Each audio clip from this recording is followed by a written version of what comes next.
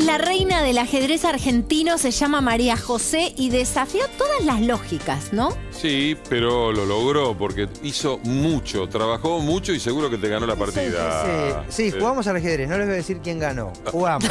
¿Ustedes saben jugar al ajedrez? Sí, sí, Pero una cosa es saber los movimientos y otra es jugarlo con cierta asiduidad. ¿Lo hace? Hay una asiduidad, sí, pero no, no me puedo Mal. comparar soy, con alguien. Tengo dos hermanos que son muy buenos ajedrecistas y he sido humillada, digamos. De los que sabemos los movimientos.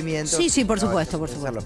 María José, ahora la ver es un amor, es una es una chica de La Plata, es un amor. Tiene 24 años y tiene una historia muy curiosa porque es la campeona argentina en este momento de ajedrez. Hay un ranking, son como los tenistas, ¿viste? Que hay un ranking nacional, por ese campeones de cada torneo. Pues la última campeona es ella, yo creo que va a ir por muchísimo más.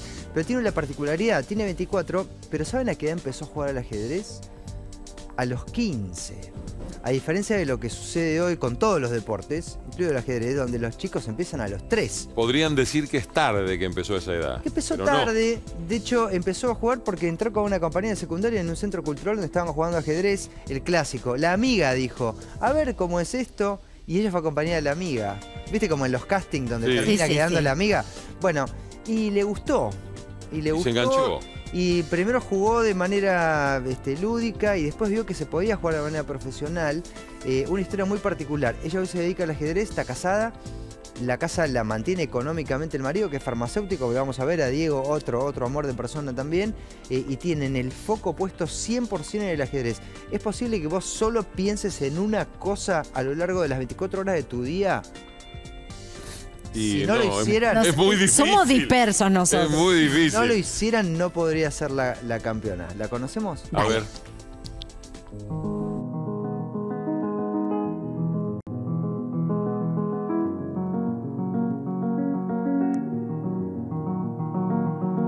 ¿Y a qué te dedicas? Yo soy ajedrecista. ¿Te presentás así? Sí. ¿Sos ajedrecista? Sí, ahora puedo decir que soy campeona argentina. Campeona argentina de ajedrez. ¿Cuántos años tenés? Tengo 24 años. Y decime cómo aparece el ajedrez en tu vida, porque vos no empezaste de nena a los 4 o 5 años, sino de adolescente. ¿Cuándo entra el ajedrez en tu vida? Empecé en una edad más grande. ¿A qué empezaste? Empecé a los 15 años. A los 15 años yo conocí el juego. Me lo tomé profesionalmente a los 17. La verdad que al principio me, me gustaba todo lo que era el juego, que cada pieza tenga su movimiento, pero me parecía complejo.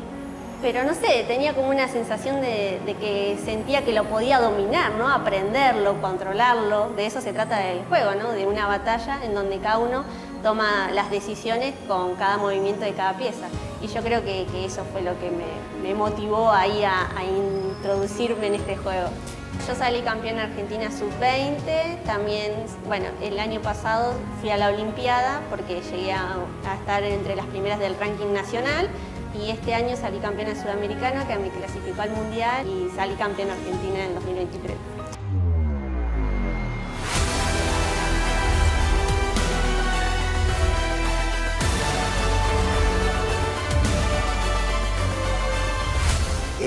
Casada vos, ¿no? Sí, sí, sí. ¿Es verdad que es tu actual marido el que te empujó al mundo del ajedrez? Sí, él era uno de los profes que había en el centro cultural. Ah, te terminaste casando con tu instructor, con lo cual el ajedrez además te trajo un matrimonio vos. Lo pude conocer ahí y, bueno, desde el día de hoy que me acompaña y, y me apoya muchísimo. Ella fue unas clases y después dejó y a los 17 años me hizo una pregunta de ajedrez y ahí volvimos a estar en contacto. O sea, se conocen de adolescentes, cuando ella termina el colegio, retoma el tema ajedrez, retoma la relación con vos. Exacto. ¿Y vos qué eras? ¿Como instructor de ella en un comienzo? ¿Profe, algo así? Claro, yo era un profesor ahí y le daba consejos a, todos los que iban. Pero claramente ella era distinta. Se notaba la pasión, las ganas, el entusiasmo que no, no se ve tanto en una persona de su edad, ¿no? Era muy competitiva, le ponía muchas ganas a todo ya cuando empezó a ver las piezas de ajedrez ya te das cuenta en los brillos de los, de los ojos ya como era. Que era distinta. Era distinta, sí, totalmente.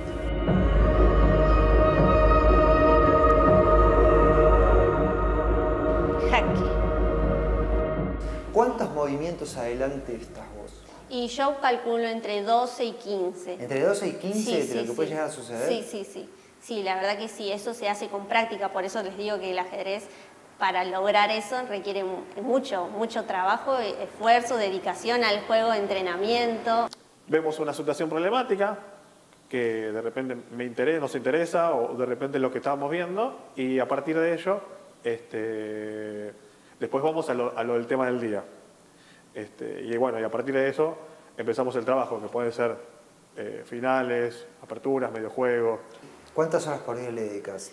Y en su momento, cuando recién comenzaba, como me tenía que equilibrar con las otras jugadoras o jugadores, le dedicaba mucho tiempo, como si fuera un trabajo, ocho horas. ¿Ocho horas diarias? Sí, cuatro horas a la mañana y cuatro horas a la tarde. Y ahora estoy entre cinco y seis horas porque también doy clases.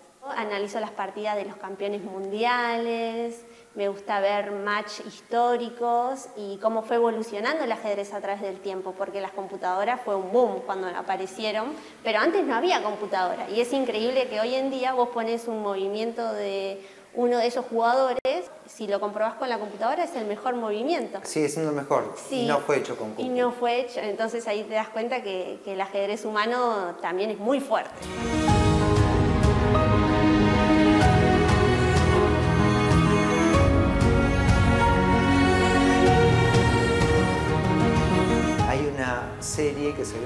En, pandemia, Gambito de Dama. Eh, yo recuerdo una escena en la que ella se va a dormir a la noche y en el techo de su dormitorio empieza a ver jugadas. ¿Te pasó alguna vez algo así? La sensación, digo, no eso, de ver cosas en me pasa todos los días, definitivamente. Cada vez que en una posición, la pienso mientras cocino, cuando me estoy bañando, ¿no? cuando hago cosas cotidianas. Y nos pasa a todos los ajedrecistas todo el tiempo eso. ¿Sigue separado hombres, mujeres en el ajedrez? Como es un deporte mental y no físico, o sea, hay, hay, digamos, las mismas posibilidades tenemos al enfrentarnos, ¿no? No importa el género. Pero lo que sí pasa es que hoy en día visitas a un club, ¿no? Y hay 90% eh, hombres y 10% mujeres. Si juegas una partida con tu marido, ¿juegan a veces por jugar nada más? ¿O es entrenamiento? Y lo que pasa es que intentamos hacer todo entrenamiento. Yo ya lo superé a él en el nivel, entonces es como que preferimos dedicarnos esas horas en, en entrenar, en mejorar mi juego, analizar, compartir un rato de ajedrez. Es amorosa conmigo y para el ajedrez para ella es todo. Es decir, nosotros yo me levanto para ir a trabajar a las siete y media. Nos levantamos y lo primero que hacemos es ver ajedrez. Eh, y yo me voy a trabajar y ella sigue entrenando y cuando llego vemos más ajedrez. Es todo el día ajedrez. Es decir, comemos, seguimos viendo ajedrez hasta que nos vamos a dormir y vemos en la tele un programa de ajedrez. La verdad que sí, me encanta y a veces digo, che, no me canso nunca, ¿qué voy a hacer? Tendría que frenar un segundo.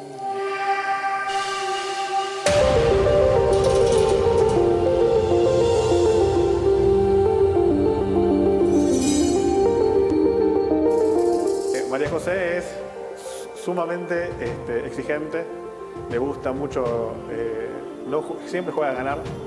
Es muy, es muy raro que juegue eh, hacer tablas, empatar, siempre está buscando el punto. De María José me acuerdo mucho jugando por internet y en la pandemia, me acuerdo cuando eh, se retomó la actividad y ella empezó a venir a jugar los torneos que organizamos acá en el club. Y bueno, su, su progreso constante, aparte de que es simpática, es buena onda, y, viene a jugar, diría que es casi habitué del club. ¿Y te quedaste alguna vez mirando una partida de ella a ver quién era esta chica? He jugado contra ella. ¿Y? Y me gana siempre. sí, me gana siempre. Sí, es una jugadora que, que, progresa constantemente y aparte es muy, es muy lindo jugar con ella porque te gana, pero te explica por qué te gana después. Es una especie de, de Messi y Ronaldo, una cosa así, ¿no? Que ella siempre quiere ganar un campeonato argentino, al otro día yo quiero seguir y quiero más, quiero seguir, quiero seguir sumando puntos. ¿Se puede vivir del ajedrez? Mm, acá en Argentina lamentablemente no. Allá en Europa se podría vivir del ajedrez. Mm. Ella debería hacer una gira en Europa todos los años, pero bueno, es imposible porque poder viajar hasta allá, los pasajes, todo para nosotros es muy difícil. ¿Y tenés, María José, alguna meta, un punto al que vos querés llegar hoy? Y la verdad en Latinoamérica no tenemos una gran maestra femenina, absoluto, digamos una gran maestra absoluto, no hay ninguna mujer. Y la verdad que a mí me gustaría ser la primera y abrir esa puerta para decir si se puede. Entonces yo ahora te puedo tomar la torre, pero prefiero darte jaque nada.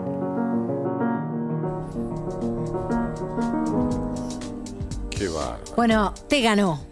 Lo había ya spoileado casi, tu cara lo había spoileado. ¿Qué es esto de campeón absoluto? Campeón absoluto es porque está la categoría masculina y la femenina. ¿Cómo Sí. puede ser en este siglo que todavía esté? Como son muchos más hombres los que juegan, las mujeres mismas me contaban, prefieren mantener la categoría femenina para que no se intimide una nena o nena, mujeres chiquitas cuando empiezan Claro, a jugar.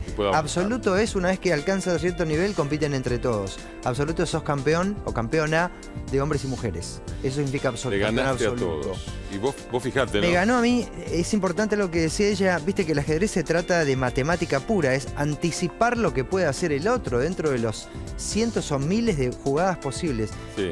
Gente de este nivel está do- 10, 12, 15 movimientos adelantados, cualquier movimiento que vos me puedas hacer. Pensar que le habrán dicho por la edad a la que empezó que no iba a poder y ella le hizo jaque mate al prejuicio. Me dijo, me salvó la vida el ajedrez. Qué No- no, sé qué hubiera hecho, a mí no me interesaba nada hasta que encontré el ajedrez. Muchísimas gracias, Dex.